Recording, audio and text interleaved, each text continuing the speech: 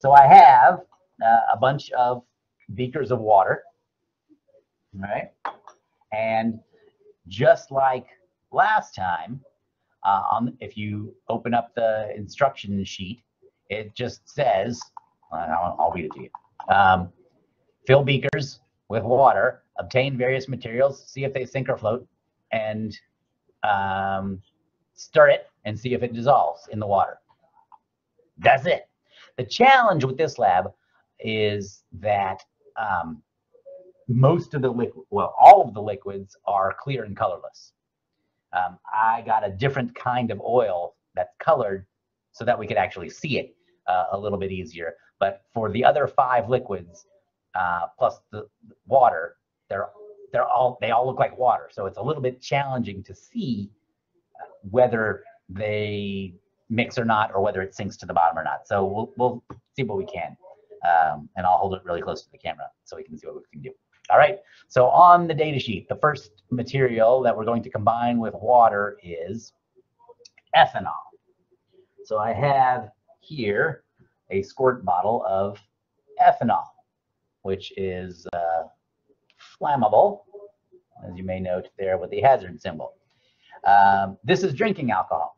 This is if your age and religion permit. So this is just regular old drinking alcohol, but 100%. Uh, it's been distilled, which gets you to about 90 plus percent.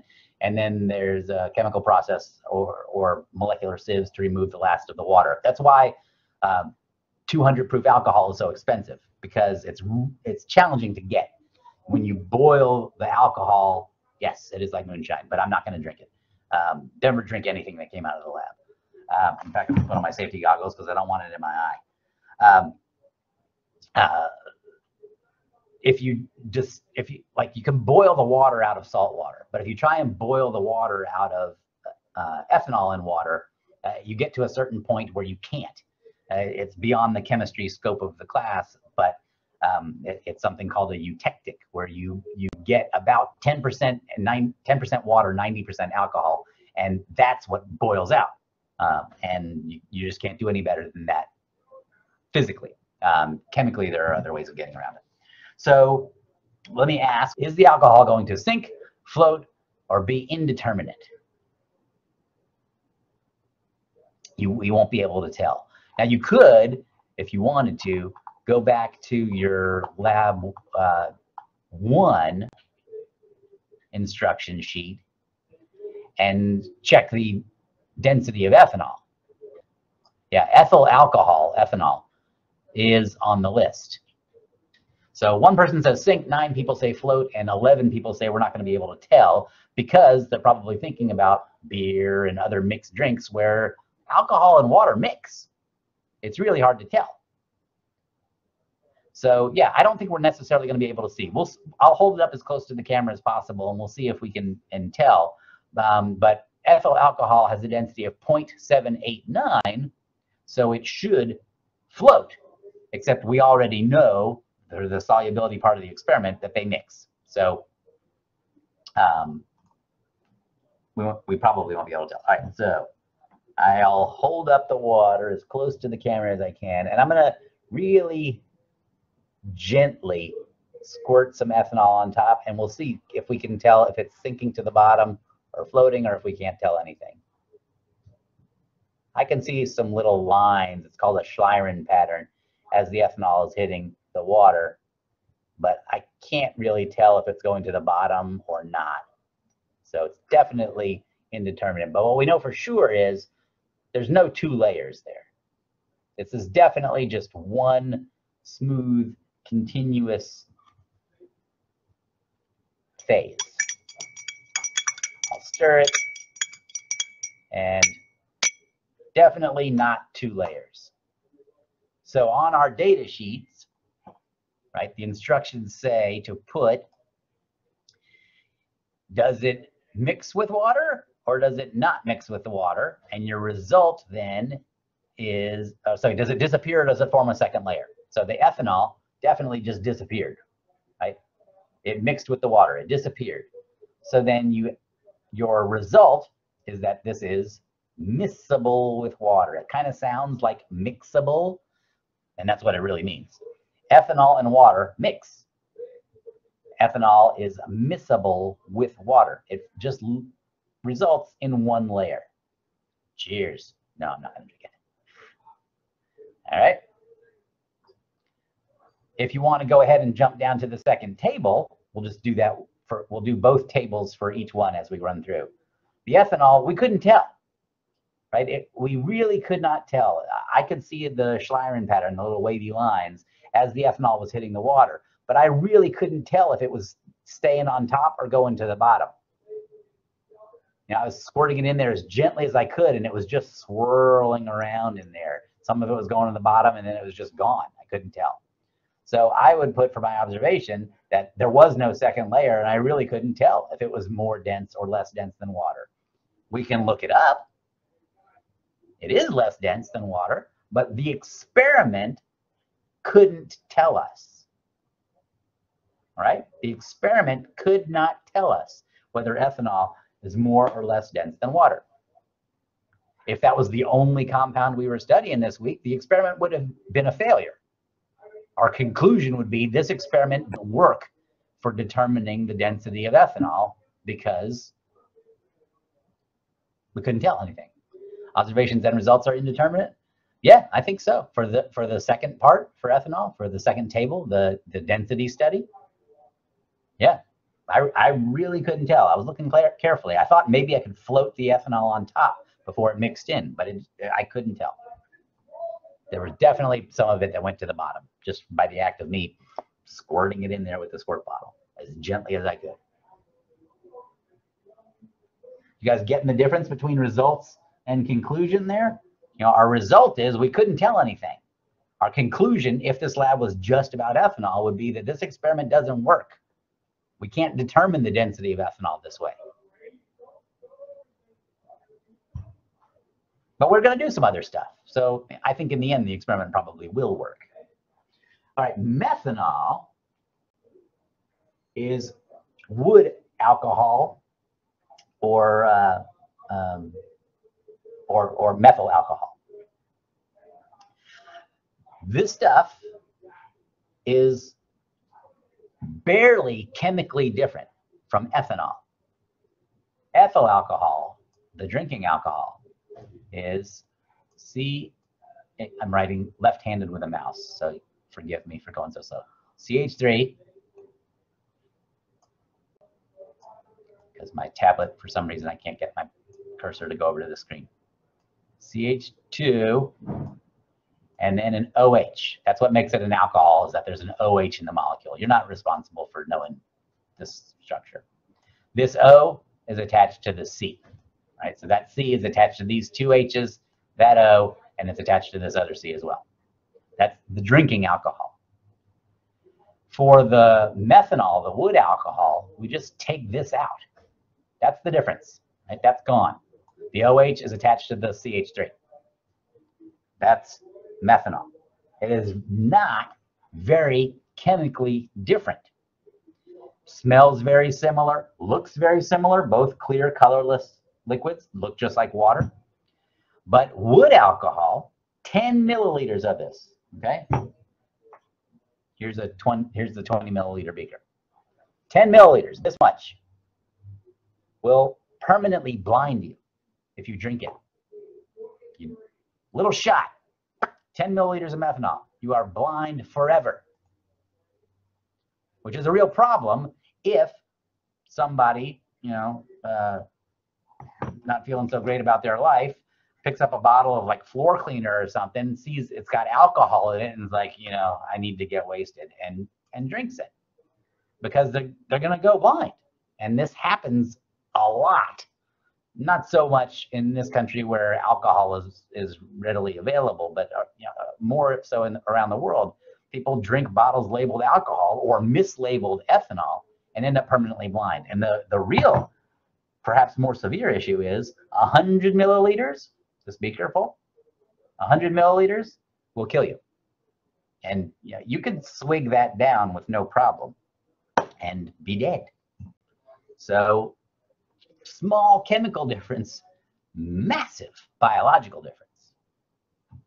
All right, let's see Um, I don't think that methanol is on our list of of uh, the, the table. Was it? Let's see. Was methyl alcohol? edits on there? I'm looking for it. No, I know it's on our data sheet table. I, am talking about table 1.1, last week's uh, density table. I don't think methyl alcohol is on there. Anyway, you could you could Google it and see what is the density of methanol. But chemical properties similar, disregard the massive biological differences. I'm betting that the physical properties are also very similar. So let, I'll pour it in as carefully as I can and see if I can tell if it's sinking or floating.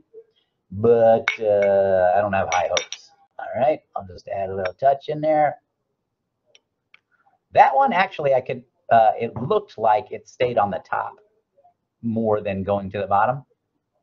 It's definitely though still just one layer. There's not two layers. It definitely mixed miscibility top part. Definitely did, did disappear. To me, it looked like it stayed on the top before it disappeared, but it's really, really hard to say. I, I don't know that I would, you know, bet my life on it or anything for the second table. Could I tell if it floated before it mixed in? Not really. More than the ethanol, but not really.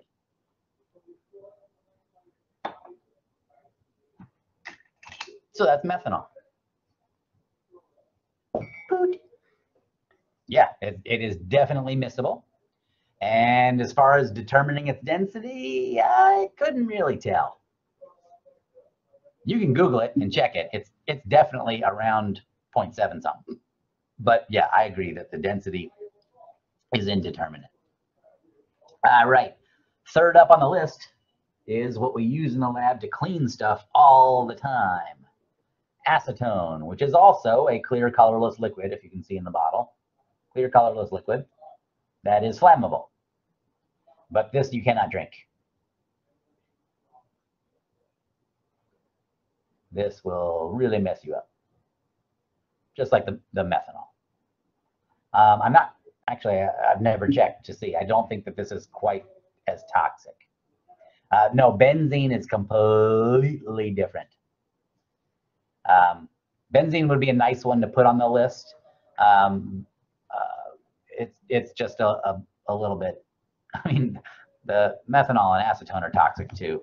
Um, benzene is, yeah. I mean, I've I've absolutely used it in the lab. Um, it's more like gasoline and mineral oil where, in, in terms of its physical properties.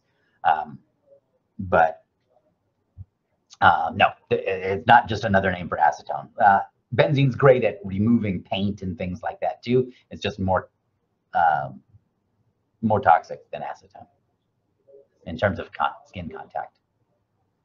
Acetone, you wouldn't want to drink it, but getting it on your skin, eh, not so bad. All right, let's check its miscibility. Right. I'm pretty sure acetone is on the list. Let me just check. Yeah, yeah, uh, it's used as paint thinner. And yeah, you, if I, I keep a bottle of it in the cleaning closet just to uh, clean up random stuff. All right, here we go. So there's your bottle, there's your cup of water. I'll try and see if I can get it to go on top. I don't know if you guys can see the little wavy lines, but they are definitely, most of them are at the top of the beaker but some of them are swirling around to the bottom, even though I'm squeezing it in very gently. But what's definitely clear is that there's no two layers. It definitely disappeared. It mixed in with the water. So even though if it doesn't mix with water, we use acetone to clean it up in the lab, water and acetone mix. That's kind of interesting. You can't remove your nail polish with water, but you can remove it with acetone, and yet water and acetone mix. Why things mix, I wrote this in the introduction, is a whole other story that we don't get into. Um, but does absolutely have environmental impacts. You know, if we dump acetone in water, it's going to just mix right in. If I can dissolve paint in the acetone and then the acetone mixes with the water, it's a way of getting the paint to mix in with the water. Good if you're trying to wash it off your hands.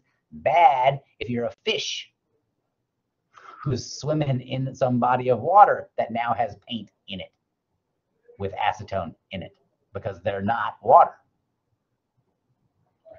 All right. So again, uh, for the second study of density, acetone, it's a little hard to say. I thought that maybe there were a little more wavy lines at the top than at the bottom, but they were definitely some at the bottom too, as, as it was mixing together. So I don't know if we could say. All right. Good.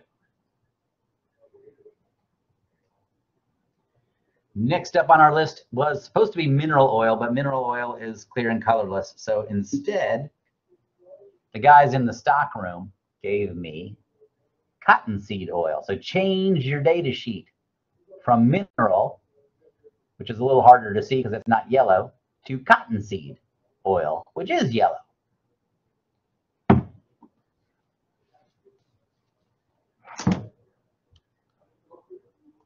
I have another poll question for you.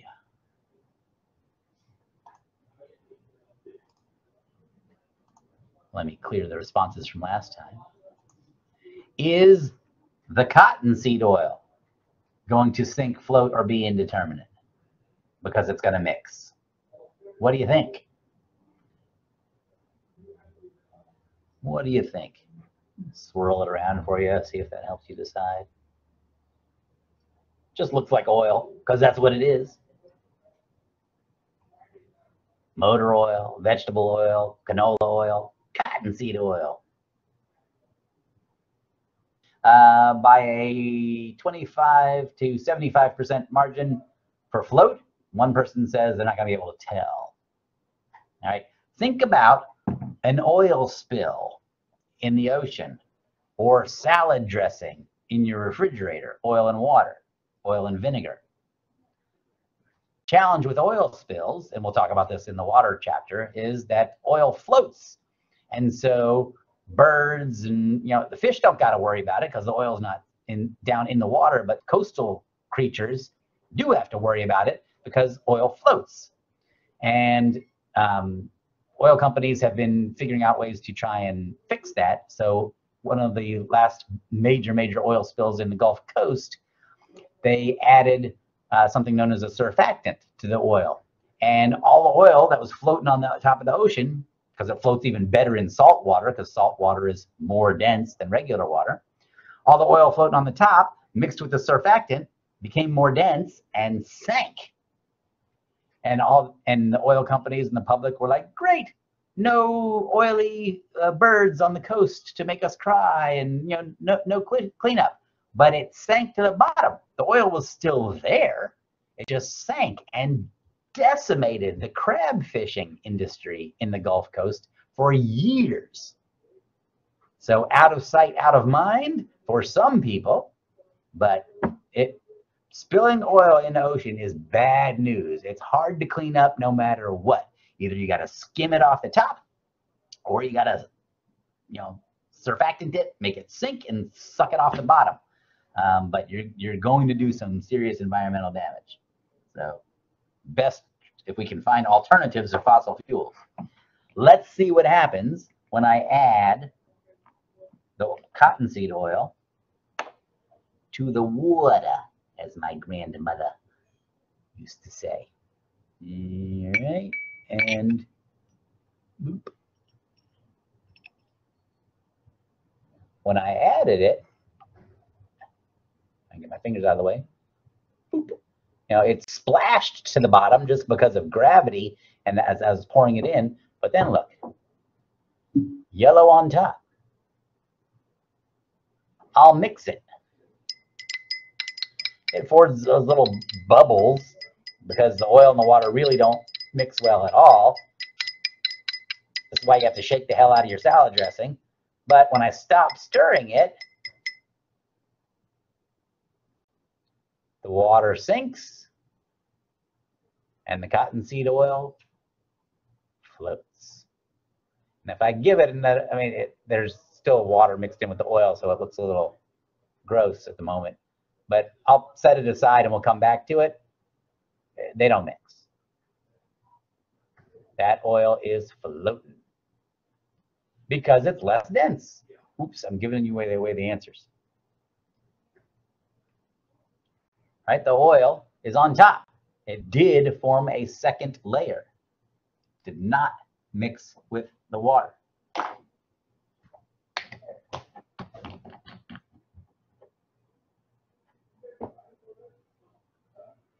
Table one, answered. Table two, answered. If you look at the very, very top, can see that the oil has no water mixed in it. Still at the bottom, there's a little bit of water mixed in it, but that's definitely separating. Clearly two layers. Water, oil. All right, next up, what do we got? Ethyl acetate. Ethyl acetate. That's a uh, class, it's in a class of organic molecules uh, called esters. Esters are are most famous in, in food additives as things that um, make make things smell a certain way. So, um, like uh, oil of wintergreen, it has uh, an ester in it. Um, banana oil has an ester in it. They're, they're very potent um, uh, odorants. Ethyl acetate um, is also used as a um, as a paint remover um, it's a really good solvent. Again, for things that don't mix with water particularly well, you can use ethyl acetate. The question is, clear colorless liquid, will our ethyl acetate mix with water or not? And we're gonna have to look really carefully to determine whether it sinks or whether it floats if it doesn't mix with water.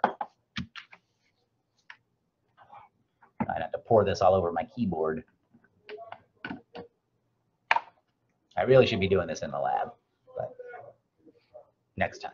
All right, I'm just gonna, um, this has a very uh, pungent odor. It smells, um, uh, if anybody ever uh, like did any sort of like uh, airplane models or car modeling or whatever, uh, this smells like the glue that you use to put together a plastic model.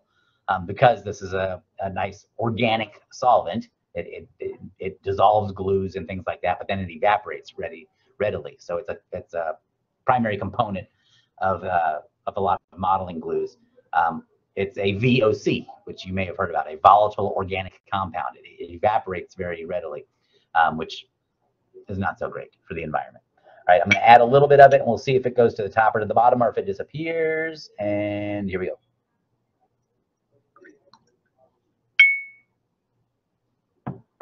Well, if you guys can tell, I'll stir it so you can see. But I'm seeing two layers, right? If I mix it, it looks really cloudy for a second. Stop stirring it. We'll wait a minute. And if you look really carefully, I don't know if you guys can tell on the camera or not, challenge of this lab, there's water, water, water, water, water line and then there's something else up here. Can you guys see that at all? I don't know. Yeah, we're really, really close. Water, water, water. I'll put my finger where you guys can maybe a little see it. Water, water, water up to here, and then there's a line, and there's more liquid. I'll add more ethyl acetate. Not going to add as much as there is of water in there.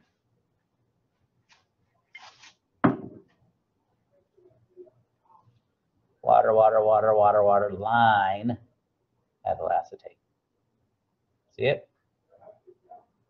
Does not mix and floats, just like the oil did. Can make uh, definite different densities, so you can make these crazy little patterns. I don't know if you guys can see that at all. Turn out where there's lines. There we go. Two layers. Ethyl acetate is on top. Cool. Show you back to our mineral oil. Still hasn't fully, fully separated, but there's definitely that yellow layer on top of the clear colorless water layer. Pretty much, other than the fact that it's not yellow, same results. Right? Didn't mix with water, floated. The uh, cottonseed oil. Ethyl acetate didn't mix with water, floated. Methylene chloride, the last one. Um, methylene chloride is like one chlorine different from uh, from chloroform. This is CH2Cl2. So two H's and two Cl's are joined to one carbon atom. If you had four H's, that would be methane, the natural gas that comes out of your stove if you have a gas stove. You pop in one chlorine, you've got uh, uh, chloroform. You pop in two, you got methylene chloride. Chloroform, of course, used to be used to uh, make people unconscious. The, you know, pour it on, happens in the movies all the time. You pour it on a little handkerchief or something, hold it over their face, go unconscious. Um, the challenge with doing that in the doctor's office is dosing is hard to determine. And so a lot of times people wouldn't wake back up. Um, so they moved to stuff that they can control better, like propofol. Unless, you, of course, you're Michael Jackson's doctor. He didn't control his very well. Anyway, let's see methylene chloride or dichloromethane. We could look it up and see what the density of methylene chloride is. Uh, let's see what happens when we add it to water. Is it going to mix? Is it going to sink? Is it going to float? What does that tell us about the miscibility and the density? So I'll do what I always do. I'll pour it in there as slowly as I can to see if we can see what's going to happen. I don't want to use too much of this stuff because it's awful for the ozone layer. We used to use this a ton in the lab until we learned about the ozone layer problem. I don't know if you can see, there's a little boop of it in the corner of that flask. I'm going to stir it. See if I see if it's just maybe not not dissolving, not mixing because I didn't stir it. Remember, it's not a mixture until it's been stirred.